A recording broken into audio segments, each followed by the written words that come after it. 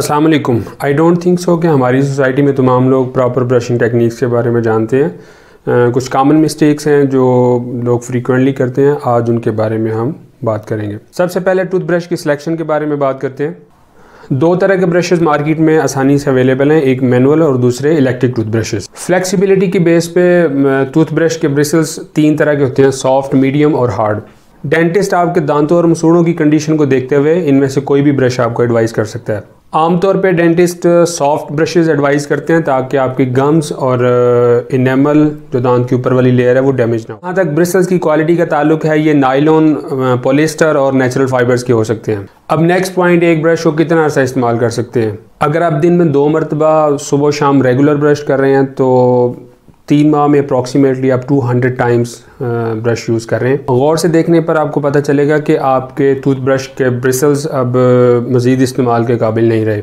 सो so, बेहतर यही है कि आप अप्रॉक्सीमेटली आफ्टर थ्री मंथ्स अपना ब्रश चेंज करें। जैसा कि हम टीवी कमर्शियल्स में देखते हैं कि टूथब्रश के ऊपर एक अच्छी खासी लेयर टूथपेस्ट की लगाई होती है ये मुनासिब नहीं है। डॉक्टर जो क्वांटिटी रिकमेंड करते हैं वो एक मटर के पी साइज़ के बराबर आप ब्रश के ऊपर पेस्ट लगा सकते हैं। ब्रश की मूवमेंट का जहाँ तक ताल्लुक है तो ये बात जेन में रखें कि दांतों को गलत तरीके से ब्रश करने से हम दांतों का फ़ायदा करने के बजाय उल्टा नुकसान कर रहे होते हैं। ब्रश करते हुए फोकस दांतों पर रखें। सबसे पहले दांत की बाहर वाली साइड उसके बाद ज़ुबान वाली, अंदर वाली साइड और एंड पे जो चबाने वाली सरफेस है, उसको अच्छी तरह साफ़ करें। ब्रश की सर्कुलर मोशन मींस क्लॉकवाइज और एंटी क्लॉकवाइज मोशन दांतों को बेहतर तरीके से साफ़ करती है। एक बहुत अहम पॉइंट ब्रश मूवमेंट के दौरान जेन में रखना ज़रूरी है, वो है ब्रश का एंगल मसूड़ों और दांतों के दरमियान जो लाइन होती है, उसको गम लाइन बोलते हैं। गम लाइन को जहन में रखते हुए ब्रश को 45 डिग्री पर रखें। ऐसा करने से गम लाइन के नीचे फंसे हुए फ़ूड पार्टिकल्स आसानी से साफ़ हो जाते हैं। आमतौर पर की जाने वाली गलती जिसमें ब्रश की बैक एंड फोर्थ मूवमेंट है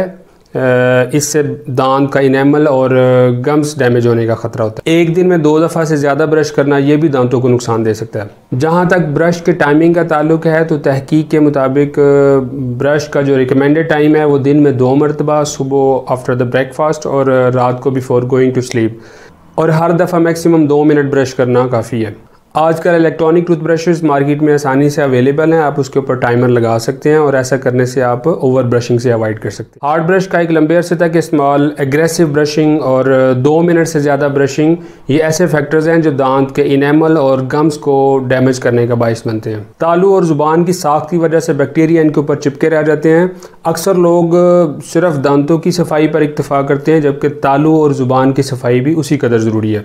अच्छी क्वालिटी के टूथब्रशेज़ उनकी बैक साइड या टंग स्क्रैपर की मदद से हम ज़ुबान को साफ़ कर सकते हैं और ऐसा करने से हम मुँह की बदबू से बच सकते हैं। एक बहुत कॉमन मिस्टेक जो अक्सर लोग करते हैं टूथब्रश करने के बाद फ़ौर पानी से कुली करना, ऐसा करने से टूथपेस्ट के अंदर मौजूद फ्लोराइड और दूसरे एंटी माइक्रोबियल और प्रोटेक्टिव एजेंट्स वो निकल जाते हैं। ब्रश करने के बाद स्पिट आउट करना काफ़ी है, ऐसा करने से फ्लोराइड की वो जो थिन लेयर है वो दांत के ऊपर कुछ देर के लिए रहती है। ये फ्लोराइड की लेयर हमारे दांत के इनेमल उसकी प्रोटेक्शन के लिए बहुत ज़रूरी है। अगर आपको माउथ वाश से कुली करना है तो फिर कोई इशू नहीं है, क्योंकि माउथ वाश के अंदर भी फ्लोराइड और एंटी प्लॉक एजेंट्स मौजूद होते हैं। दांत साफ़ करने के बाद ब्रश कहाँ रखें? अक्सर लोग ब्रश करने के बाद अपना ब्रश टॉयलेट या वाशरूम में छोड़ आते हैं, जो कि हाइजीनिकली किसी भी तौर सेफ़ जगह नहीं है। आप अंदाज़ा कर सकते हैं कि वाशरूम्स के अंदर नमी का तनासब किस कदर होता है, और ऐसे इन्वायरमेंट में ब्रिसल्स का ड्राई होना तकरीबन नामुमकिन होता है। और ये मॉइस्ट इन्वायरमेंट बैक्टीरिया की नॉरिशमेंट के लिए बड़ा फेवरेबल इन्वायरमेंट है। सो ब्रश करने के बाद उसे ड्राई इन्वायरमेंट में रखें।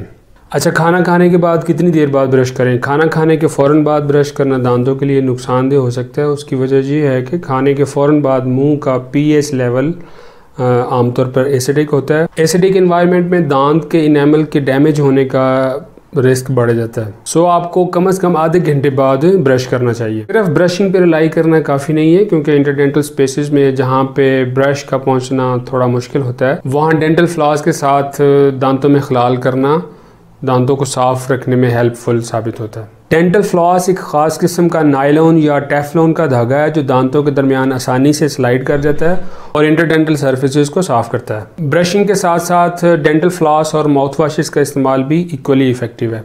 टीथ ब्रशिंग से मुतल अगर कोई क्वेश्चन हो तो कमेंट सेक्शन में पूछ सकते हैं। Thanks for watching